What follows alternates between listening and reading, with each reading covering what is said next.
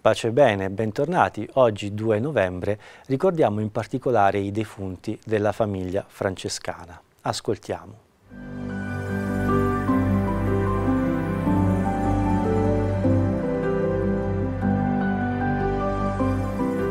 La commemorazione dei fedeli defunti è un'occasione privilegiata per unirci spiritualmente ai nostri cari e per celebrare il mistero pasquale di Cristo Signore.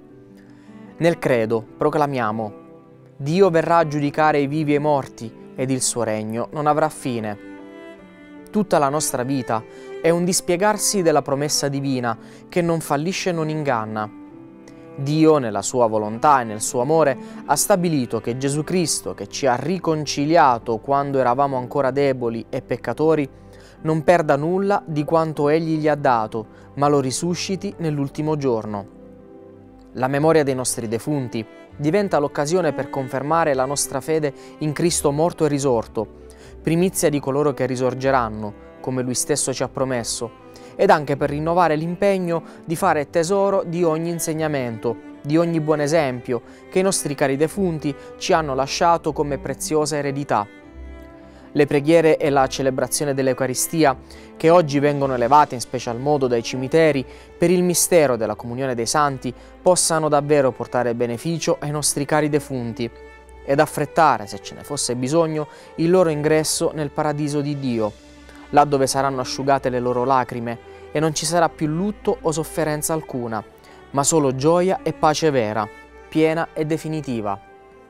Eleviamo al Signore per i nostri defunti la preghiera forse più bella. Ammettili a godere la luce del tuo volto.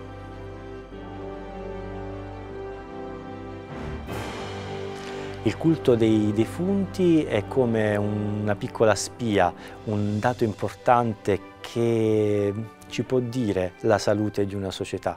Quando si mantengono vive le proprie radici e il proprio contatto con quella che è stata la propria storia, possiamo veramente dire che ci sia una spiritualità viva, una spiritualità in corso. Quando invece si perde il contatto con questa dimensione, come anche un po' può succedere ai giorni di oggi, prendendo le distanze anche dalla morte, allora poniamoci qualche domanda.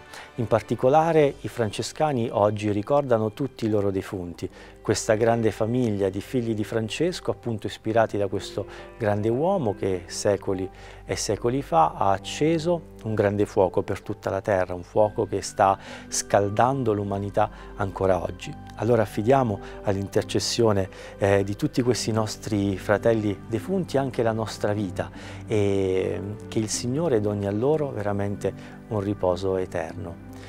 Eterno riposo dona loro, Signore, splenda loro la luce perpetua riposino in pace. Amen.